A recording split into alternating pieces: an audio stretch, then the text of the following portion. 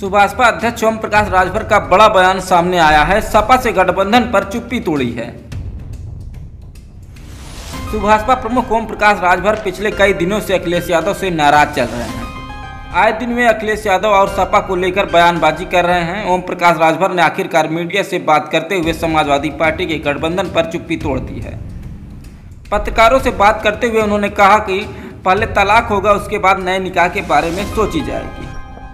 उन्होंने सपा प्रमुख अखिलेश यादव पर बड़ा आरोप लगाते हुए कहा कि अखिलेश के नवरत्न उन्हें गलत सलाह देते हैं। वो लोकसभा उपचुनाव में एसी में बैठकर आजमगढ़ और रामपुर में समाजवादी पार्टी के लिए वोट मांग रहे थे, लेकिन वह ज़मीन पर काम कर रहे थे। उन्होंने मीडिया से बात करते हुए कहा कि बसपा प्रमुख मायावती के साथ अपने तमाम मुद्दों को लेकर बात करने की बात भी कही थी।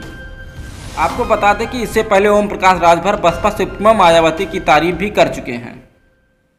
ओम प्रकाश राजभर ने वाई कैटेगरी की सुरक्षा मिलने पर सीएम योगी आदित्यनाथ को धन्यवाद देते हुए कहा कि मेरी सुरक्षा को लेकर कई दिनों से बात हो रही थी। उन्होंने यह भी कहा कि मेरे ऊपर हमला हुआ है। इसलिए मैं सीएम योगी आदित्यनाथ का शुक्रगुजार हूँ क्योंकि उन्होंने सुरक्षा प्रदान कराई है। Bureau report Bhimraj Dastak.